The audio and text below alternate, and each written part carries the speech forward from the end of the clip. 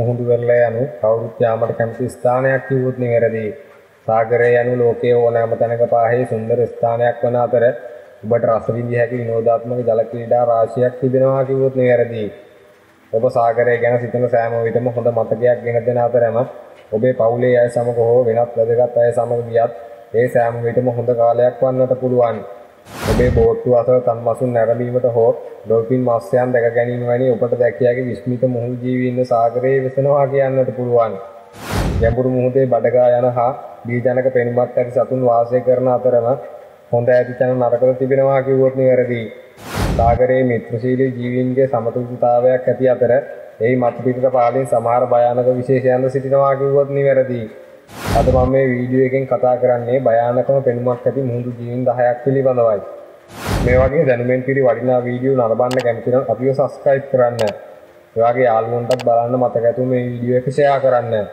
අංක 10 fringe head මෙම මස්සෙන් Pacific සාගරයේ ඉසාන අධික වෙරළට ඔබෙන් ජීවත් වන අතර බොහෝ විට ටියුබ් බෙනී මස්සෙන් ලෙස හඳුන්වනවා කිව්වොත් නිවැරදි. මොවුන් වැඩිපුරම ජීවත් වන්නේ කුල්වල හෝ නලවැනි ව්‍යුහවල වන අතර සමහර මස්සෙන් මුහුද අභ්‍යන්තරයට වැඩි ඇති කුඩා බෝතල්වලද ජීවත් වෙනවා කිව්වොත් නිවැරදි. පිරිමි මස්සෙන් තම නිවස ආරක්ෂා කර ගැනීමට වැඩි ඉඩක් ඇති බැවින් ගැහැණු සතුන් සාමාන්‍යයෙන් පිරිමි සතුන් අතර බිත්තර දමනවා. මේ නිසා පිරිමි සතුන් වඩාත් තරඟකාරී හා බම්බුක වශයෙන් කටයුතු කරන අතර මෙම තරඟකාරී සංසිද්ධිය ගැහැණු සතුන් නිසා නිර්මාණය වෙනවා කිව්වොත් නිවැරදි. ආධිපත්‍ය තහවුරු කර ගැනීමට සහ එහි ආහාර ගෝයක් ආරක්ෂා කර ගැනීම සඳහා පිරිමි සතුන් සිය මුඛය පුරුල් ලෙස විවෘත කරන අතර සංසන්දනය කිරීමේදී ඔවුන්ගේ මුඛය විවෘත කරන විට මෙන් හතර ගුණයක් පමණ විශාල වෙනවා කිව්වොත් නිවැරදි. පිරිමි සතුන් දෙපාර්ශ්වයටම මුඛය විවෘත කරගෙන සංසන්දනය කර බලන්නේ ලොකු මුඛය ඇත්තේ කාටදැයි යන්නයි. මෙම සටරෙන් පොඩි මුඛයෙන් අස්සයාට පරාජය බාරගෙන පිටවී යාමට සිදුවෙනවා කිව්වොත් නිවැරදි.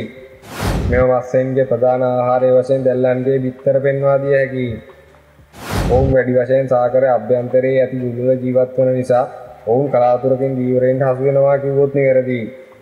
වාසනාවකට මෙන් ඉතා හොඳින් සැඟවී සිටීම නිසා ඔවුන්ගේ වඳවීමේ අවධානම සීමා කිරීමට උපකාරී වන අතර ඔවුන්ගේ බියජනක බවක් පෙනුනද ඔවුන් මිනිසාට පහර දීම සිදු කරන්නේ නැතයි කිව්වොත් නිවැරදි. අංක 9 උතුරු ස්ටාගේසර් බොහෝ දුරට සාගර පතුලේ ජීවත් වන මස්සෙයින් අමුතු පෙනුමක් ඇති මස්සෙක් ලෙස හඳුන්වන්නට පුළුවන්. මෙම මස්සයාට පැදලි නළලක් සහ පැල්ලම් සහිත පැදලි සිරුරු සහිත විශාල හිසක් පිහිටා ඇති අතර මොවුන්ගේ ඇස් නාස්පුඩු ඇස් ගිලීම් පෙති සහ මුඛයේ වැඩි කොටසක් හිස මත දක්නට ලැබෙනවා. මෙම මස්සයාගේ අමුතු පෙනුමට අමතරව මුඛය හරහා ජලය ගෙනීමට වඩා නාසයෙන් හුස්ම ගැනීම ඉතා නොසුදුසු ලක්ෂණයක් ලෙස පෙන්වා දෙන්නට පුළුවන්. මෙම මත්ස්‍යයාගේ පෙට්‍රෝල් වරල් සාගර පතුලේ ඇති වැලි අතර සැඟවීමට උපකාරී වන අතර මෙම මත්ස්‍යයින් දිගින් අඟල් 22ක් දක්වා වර්ධනය විය හැකි අතර බර රාත්තල් 20 දක්වා වර්ධනය වන්නට පුළුවන්. මෙම මත්ස්‍යයින් සාගරය තුල වෙසෙන කුඩා මත්ස්‍යයින්ගෙන් පෝෂණය වන අතර මොවුන් සාගර පතුලේ සැඟවී සිටින්නේ මොවුන්ගේ ඇස් සහ නාස්පුඩු පමණක් ඉහළට එන සිටින ආකාරයටයි. මොවුන්ගේ විශාල කටවල් භාවිතා කරමින් ඔවුන්ගේ ගොදුරට ගැලවීමට නම් ඉඩක් ලබා දෙන්නේ නැහැ. විශේෂිත කරුණම් මෙම ජීවියාගේ හිස මත අවයවයක් ඇති අතර එමගින් වෝල්ට් 50ක් දක්වා විදුලි ආරෝපණයක් ඇති කිරීමට පුළුවන්. අනෙක් මත්ස්‍යයින්ට විදුලි සැර වැඩිවීමට ඇති හැකියාව නිසා මොවුන් සාගරයේ සිටින නරකම මාළුවෙකු ලෙස පෙන්වා දෙන්නට පුළුවන්. අංක 8 ගැඹුරු මුහුදේ මකරා එහෙමත් නැත්නම් ඩීප් සී ඩ්‍රැගන් ෆිෂ් නමින් හඳුන්වන මෙම මත්ස්‍ය විශේෂය අඩි 5000ක් පමණ ගැඹුරු ජලයේ ජීවත් වන අතර ප්‍රධාන වශයෙන් උතුරු හා බටහිර අත්ලාන්තික් සාගරය සහ මෙක්සිකෝ බොක්කාසල ප්‍රදේශයේ පෙන්වා දෙන්නට පුළුවන්. දිගු සීන් සිරුරක් සහිත වඩාත්ම පිළිතුරු පෙනුමක් ඇති මේ මත්ස්‍යයින්ට ඉතා තියුණු තත්ත්ව පිහිටා තිබෙනවා. මෙම මත්ස්‍යයින් බිය උපදවන ලෙස පෙනුනද මොවුන්ට වර්ධනය විය හැකි අඟල් 6ක් පමණ වන අතර ගෑනු සතාට වඩා පිරිමි සතා ඉතා කුඩා වර්ධනයක් පෙන්눔 කරනවා කිව්වොත් නිවැරදියි. සාගරයේ ජීවත් වීමට උපකාර වීමට මේ මාළුවාට පුතුම සාගත ලෙස භාවිතා කරන ජෛව විච්ඡේදනය නම් රසායනික ක්‍රියාවලියක් මගින් Tamanටම ආලෝකයක් නිපදවාගත හැකි.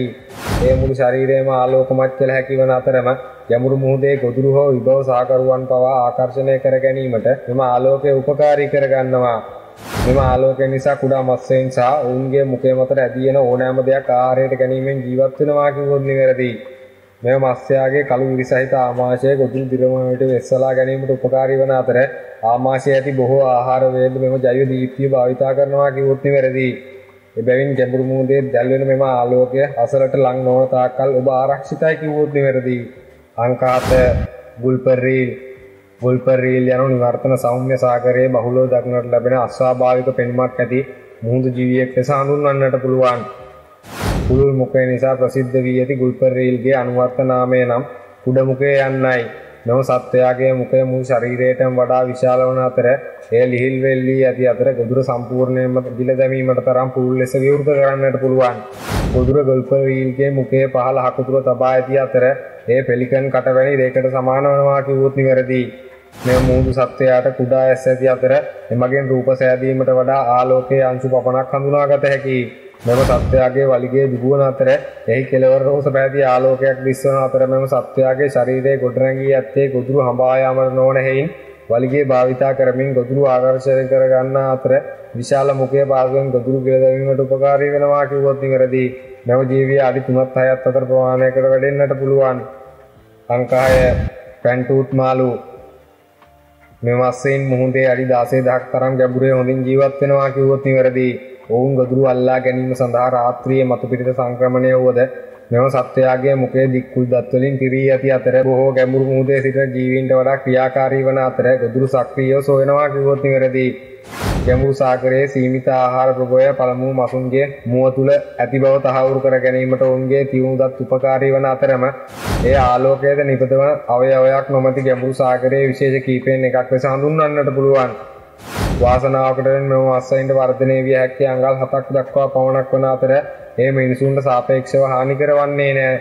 අංක පහ ෆීල්ඩ් මෝරුන් මෙ මෝරුන් විශේෂය ප්‍රාග් ඓතිහාසික මුහුදු ජීවයකු මුන් පෙනෙන අතර උගේ සිරුරේ බොහෝ පිටුපසින් වරල් පිහිටා ඇති අතර මෙම මස්යාට දිගින් අඩි හතක් දක්වා වර්ධනය විය හැකියි. මෙම මෝර විශේෂයට ගොදුරු අල්ලා ගැනීම සඳහා දිගුදත් තුනක් සහිත දිගුදත් පේලි තුනක් පිහිටා ඇති අතර මොවුන් වඩාත් කැමති මුදු ශරීරයක් සහිත දැල්ලන්ට කිව්වොත් නිවැරදි. මොවුන් සක්‍රීය විලෝපිකයන් වන අතර ගොදුරු අල්ලා එහි ප්‍රමාණය නොසලකා මුළුමලින්ම ගිල දැමීමට උත්සාහ කරනවා. ගැඹුරු සාගරයේ ජීවත් වන බැවින් මේ මුහුදු ජීවියා මිනිසාට හමුවන්නේ බොහෝ කලාතුරකින්. මෙම මෝර විශේෂය ආහාරයට ගන්නා අතර මේ නිසා ෆීල්ඩ් මෝරුන් වඳවීමේ තර්ජනයකට ලක්ව තිබෙනවා කිව්වොත් නිවැරදි. අංක 4 ඇන්ග්ලර් මාළු අත්ලාන්තික් හා ඇන්ටාර්ක්ටික් සාගරවල මීටර් 900 හෝ අඩි 3000කට වැඩි ගැඹුරක ජීවත් වන ඇන්ග්ලර් මාළු විශේෂ 200කට වඩා සිටිනවා කිව්වොත් නිවැරදි. සාමාන්‍යයෙන් තද අලු හා දුඹුරු පැහැයෙන් යුක්ත වන අතර ඔවුන්ගේ හිස විශාල වන අතර අඩ සඳහි ආකාරයට මුඛය පිහිටා තිබෙනවා. ඔවුන්ගේ මුඛයේ තියුණු විනිවිද පෙනෙන දත් තිබෙන අතර මෙම විශේෂයට අඩි 3ක් පමණ විශාලත්වයකට වර්ධනය විය හැකියි.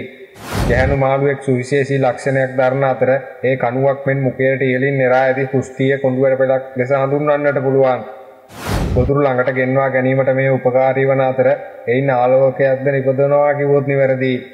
පිරිමි සතුන් ගැහැණු සතුන්ට සාපේක්ෂව කුඩා වන අතර පරිණත වීමේදී අඟල් 8ක් පමණ වැඩෙන්නට පුළුවන්.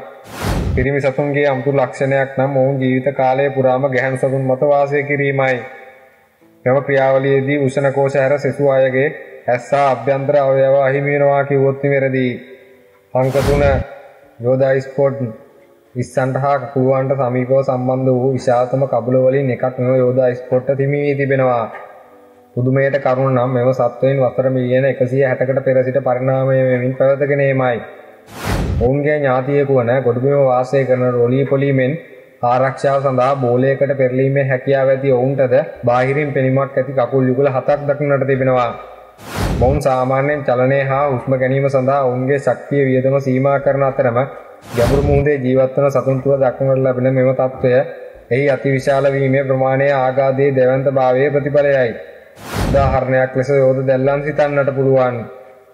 ඔවුන් මාංශ භක්ෂක හා කුණු කසල නිසා ඔවුන්ගේ සජීවී සහ මියගිය සතුන් පෝෂණය කරනවා. නමුත් ඔවුන්ට ආහාර නොමැතිව දිගු කාලයක් වාසය කරන්නට පුළුවන්. වාර්තාගත දිගම කාලය වන්නේ වසර හතරක්. මුහුදු පතුලේ ආහාර හිඟ බැවින් ආහාර ඇති විට ඒවා බහුල ලෙස ආහාරයට ගැනීමට ඔවුන් පෙළඹෙනවා කිව්වොත් නිවැරදි. අංක දෙක ගොබ්ලින් මෝරා ගොබ්ලින් මෝරා යනු බඩගා යන පෙනුම ඇති මුහුදු ජීවීන්ගෙන් එකෙක් ලෙස පෙන්වා දෙන්නට පුළුවන්. ගැඹුරු අඳුරු ජලයේ විද්‍යුත් ක්ෂේත්‍රය සොයා ගැනීමට උපකාරී වන විශේෂ සංවේදී අවයව වලින් වැසී ඇති දිගු කැපී පෙනෙන උගුරක්ද පිහිටා තිබෙනවා. මෙම මෝරුන්ගේ ශරීරයේ අසාමාන්‍ය වර්ණයක් තිබෙන අතර ඒ රෝස පැහැයේ සිට දම් පාට අලු පාට පැහැයක් දක්වා විහිදෙනවා කිව්වොත් නිවැරදි. වරල් වල ධාරය වටා නිල් පැහැයක් ඇති අතර ගොදුරු අල්ලා ගැනීම හා ගිල දැමීමට මෙම මෝරුන්ගේ හකු ඉදිරියට වෙලා තිබෙනවා. මෙම මෝර විශේෂය මාළු දෙල්ලම් සහ කවුල ආහාරයට ගන්නා අතර කොබ්ලින් මෝරින්ගේ හකු දිගින් වෙනස් වන බවට පෙන්වා දෙන්නට පුළුවන්. මෙම මෝරෙකු සම්පූර්ණයෙන්ම වැඩුණු විට අඩි 16ක් පමණ දිගකට වැඩෙනවා කිව්වොත් නිවැරදි. අංක 1 වැම්පියර් දැල්ලන් මෙම මුහුදු ජීවියට අත් අටක් සහ සිහින් දිගු කෙඳි දෙකක් පිහිටා තිබෙනවා. ඔවුන් ජීවත් වන්නේ සාගරයේ ගැඹුරු අඳුරු ජලයේ වන අතර මෙම දැල්ලම් බියට පත් වූ විට විශාල කොඳුයට පෙළ මුළුමනින්ම දර්ශනය කිරීමෙන් තර්ජනාත්මක දර්ශනයකදී එහි ආවරණය වෙනස් කරනවා කිව්වොත් නිවැරදි. මෙම දැල්ලම් විශේෂය සාක හා සත්වද්‍රව්‍ය ආහාරයට ගන්නා අතර ඔවුන් හානිකර නොවන නිසා ඔවුන් ආක්‍රමණශීලී දඩයම් කිරීමට වඩා ආහාර අංශු සොයා ගැනීම මත රඳා පවතිනවා කිව්වොත් නිවැරදි. මෙම ආහාර කැබරි අල්ලා ගැනීම සඳහා මුහුදු ජීවියා සිය වාසස්ථානය අසල ඇලෙන සුළු සෛලයක් භාවිතා කරන අතර විලෝපිතයන්ගෙන් අවධානය වෙනතකට යොමු කිරීමට හෝ ව්‍යාකූල කිරීමට ජෛව විච්ඡේදක ද්‍රව්‍ය අඩංගු ද්‍රව්‍යයක් පිට කරනවා කිව්වොත් නිවැරදි. මෙම සත්‍යයාගේ අත්වල කෙළවර ආලෝකය නිපදවන අතර එය ඔවුන්ගේ සංනිවේදනයට භාවිතා කරන්නට පුළුවන්.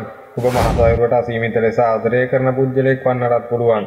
ඔබ මහසයුර අසල ජීවත් වන පුද්ගලයෙක් වන්නටත් පුළුවන්.